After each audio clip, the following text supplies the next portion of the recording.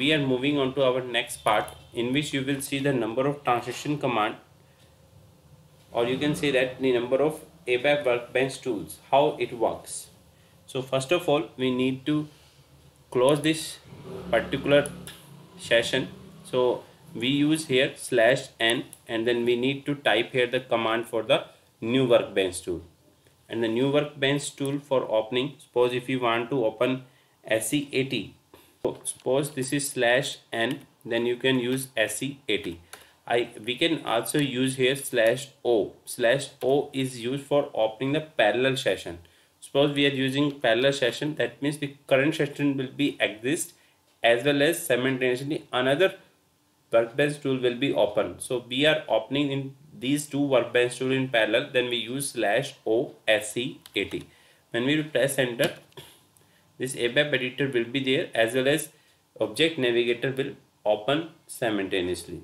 So you can see that a parallel session has been opened here. You can see this is your abap editor and this is your object navigator. Now SE80 is used for the object navigator. If you want to open ABAP dictionary, there is a translation command SE11. So when you will press enter, it will open the ABAP dictionary. So in this ABAP dictionary, you can create the database tables. That means trans transparent table you can create. Similarly, you can also create views. You can also create the new data type. You can also create domain, search help and lock objects there is another transaction command which is used for opening the function builder and that is SE37 when you will press SE37 it will close the current ABAP dictionary and open the function builder. So SE37 is used for opening the function builder workbench tool. So you can see that a function builder has been opened. If you want to open the class builder, the transaction command is SE24. When you will press enter, it will open the class builder workbench tool where you can create your own class and objects. Command by which we can open the AS ABAP instances and the command is SM51.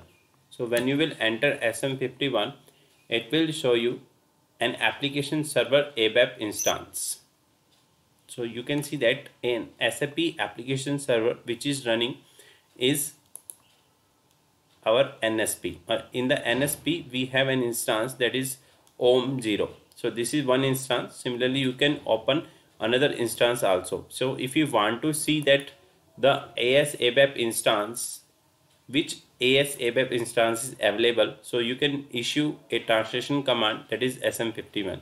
When you will press enter, you can see that there is a server name om underscore nsp underscore 00. And you can see that there is a one active server is there. Now, if you want to see who are logged onto this instance, that means which user have been logged on onto this instance. So for watching that, you can issue a command SM04 and when you will press enter it will show you the current user and the client is 001 and the user is BC user and the terminal is OM and the transition that we have issued recently is SM04 and this is your dialog time and this is session 2 already two sessions have been on one is ABAP editor second is user list so and the, it is using the 12 megabyte memory is here so you can see that one user logged on with the two mods. One GUI user is there. So SM04 command is used to check which user have been logged on to this instance. Suppose if you want to see the number of work processes, either you can check these work processes by going to this one AS ABAP work process table. Just double click on it. It will show you the number of work processes here. So if you want to see in this system logged on system you can issue a command slash n sm50 so when you will enter it will show you an overview of work processes on the instance to which you are logged on. So you can see that there are this is a server name om underscore nsp underscore 00 and we have the dialog work processes. That is total is 3 and 2 are the free.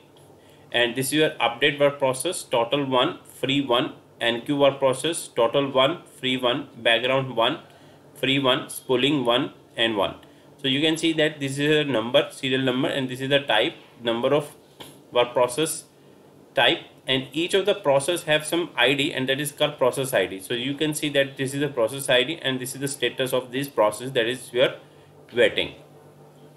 So by this command you can check the work processes. Now if you want to see the overview of the whole work processes which are running on this SAP system. You can issue a transaction command. This is SM66 so it will show you the number of uh, work processes whole work process on the SAP system is running. But currently no work processes are running. So it is showing that the list contains no data. Now suppose if we want to see a particular maintaining screen of the user profile of the current user logged on. The current user logged on on our system is BC user. And if you want to maintain the user profile of this BC user, you can issue a command su3. When you will press enter, it will display you the maintaining user profile screen of the BC user. Where you can maintain the user profile. That means you can change the name of the user. You can also change the last name creation date and all of these parameters you can change using the su3 command and transaction code. So you can see that it is asking for maintaining the user profile and the title is Mr. You can change the title, the last name it is, and the first name you can give. Academic title you can change, and the function you can define. The department, room number, floor, building. So you can maintain this user profile here with the help of transaction command that is su3 and you can also assign other company address assign new company address.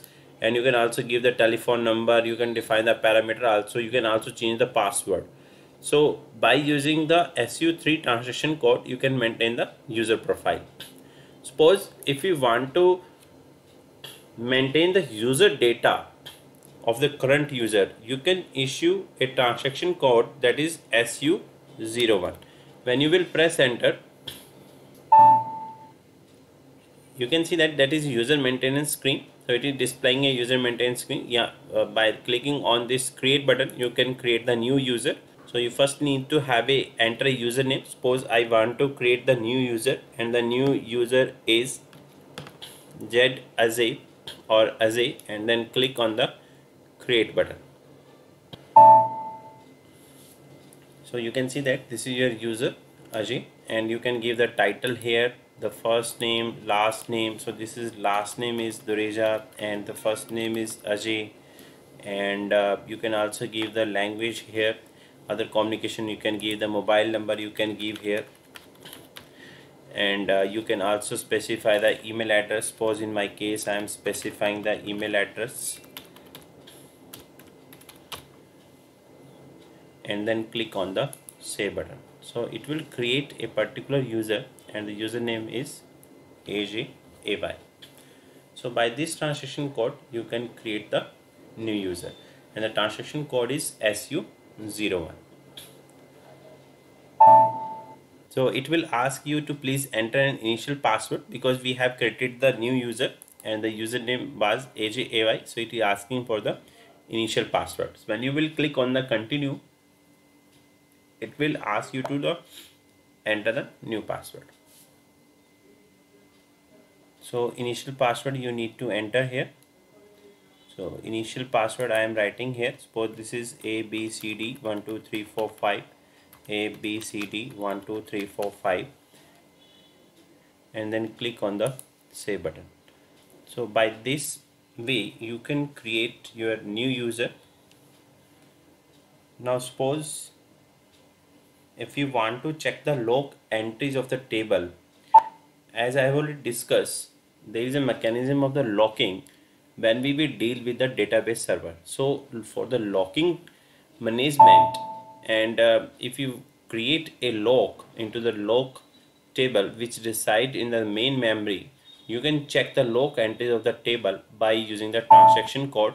And there is a transaction code that is called SM12 so with the help of SM12 you can check the lock entries of the lock table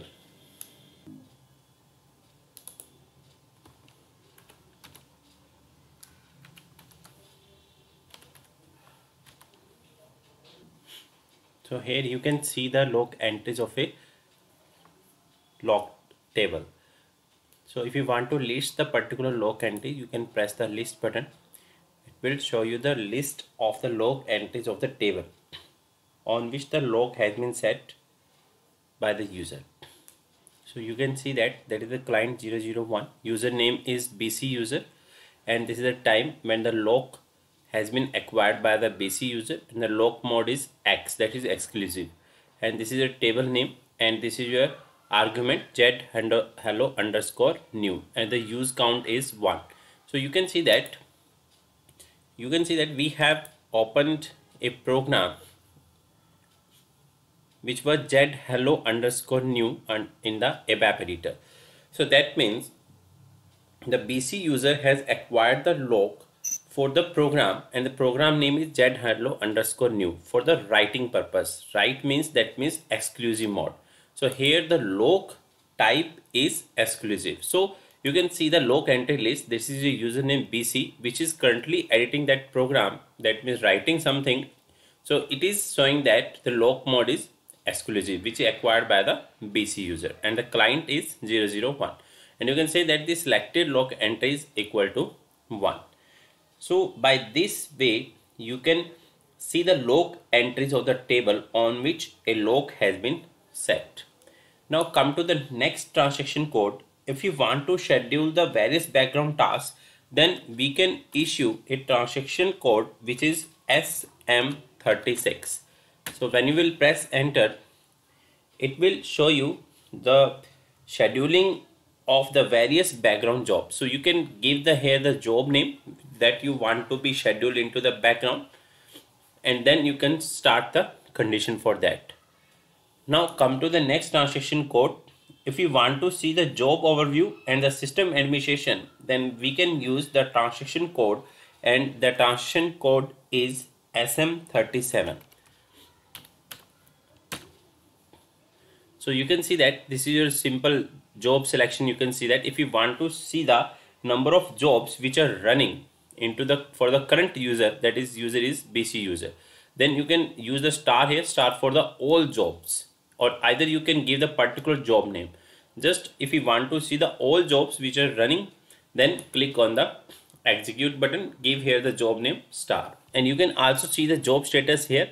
The jobs which are scheduled in the background you can also see that. Either you can see that the job which has been released either you can see the jobs which are in ready state active state finished state or cancel state.